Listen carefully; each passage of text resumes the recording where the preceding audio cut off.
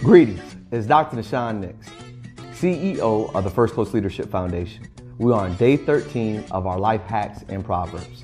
HACKS is an acronym for Helping Achieve Critical Knowledge for Success. Today's life hack is found in Proverbs chapter 13, verse 4. The soul of a lazy man desires and has nothing, but the soul of the diligent shall be made rich.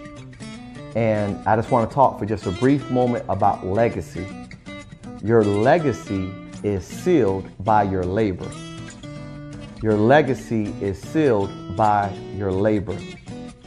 And the Bible talks about a lazy man.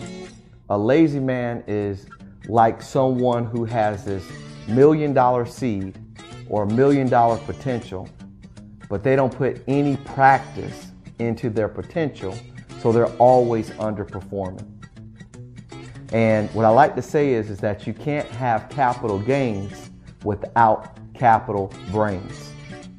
And when you have great ideas, great concepts, uh, witty uh, concepts, what happens is, is that when you're lazy, that's what you call capital punishment.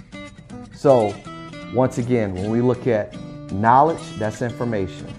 Wisdom is application. Understanding is comprehension. Instruction is discipline.